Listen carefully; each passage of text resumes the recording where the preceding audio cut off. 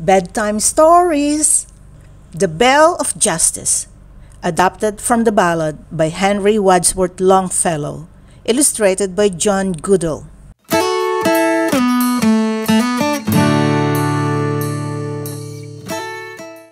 There once was a small and humble town called Atri. One day, King John's procession came through Atri.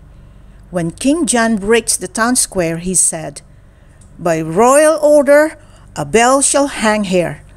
When anyone is wronged, ring the bell. When this bell of justice is rung, the town's judge shall correct whatever wrong has been done. And so a bell hung in the square, and the king's orders were obeyed. For many years, the bell of justice rang when wrongs were done. When livestock was stolen, the farmer rang the bell.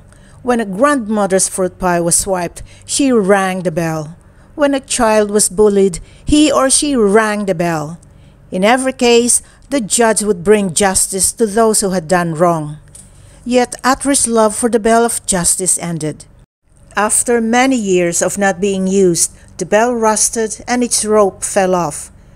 Although Atri had forgotten about the bell of justice, the town's judge had not. He called to one man and said, Please go into the woods and get a vine.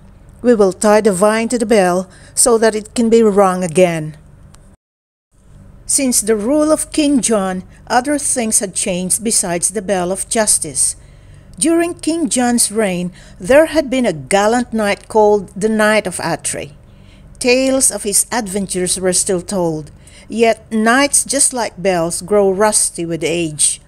The Knight of Atri was no different. His hair had grown gray, his sword and shield had rusted.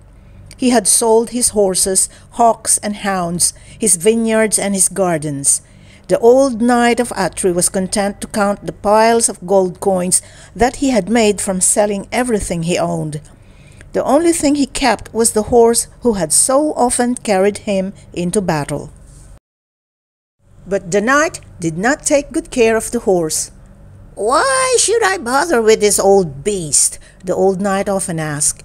I don't use him any more, so why should I feed or take good care of him? By looking at the old horse, one could tell how poorly the knight cared for him. He was very thin, and his eyes were tired and sad. The poor horse looked old and hungry. One day the horse went to the knight begging for a bit of grain or hay to eat. It's not a holiday, so I don't see why you should expect to be fed, said the knight. With that, the knight of Atri turned away his once favorite horse and faithful companion. The tired old horse trudged out into the hot summer sun, his belly begging to eat. The horse wandered through pastures, finding no grass to nibble. The horse wandered through fields, finding no corn to eat. The knight of Atri's horse finally wandered into the town of Atri, hoping to find something to eat there. But as the horse walked the streets, food was hard to find, the dogs of the town barked at the horse and chased him. The people shut their doors and windows on this hot day, hoping to keep the heat out. The heat persisted, lulling them to sleep. The horse spotted the square where a green vine hung from the bell of justice. The horse hurried to the bell of justice.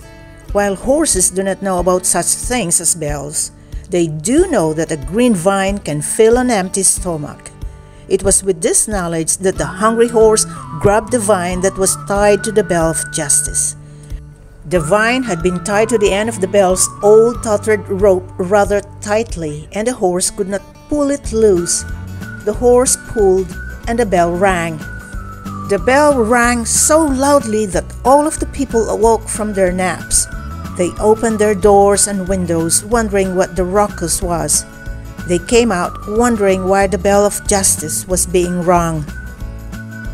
The people went to the bell where they found the hungry horse munching on the vine. At the front of the crowd stood the judge. Knowing that the horse belonged to the knight of Atri, the judge sent for him. When the old knight arrived, the judge said, What good, what honor, what repute can come from starving this poor brute. Therefore I decree that as this steed served you in youth, you shall take heed to comfort his old age, and to provide shelter, food, and field beside. From that day forth, the knight took care of his horse, and the town never forgot the good that the bell of justice could bring. Hi, if you like this video, please give this a like and hit the subscribe button and click the bell icon to get notified whenever I release a new video.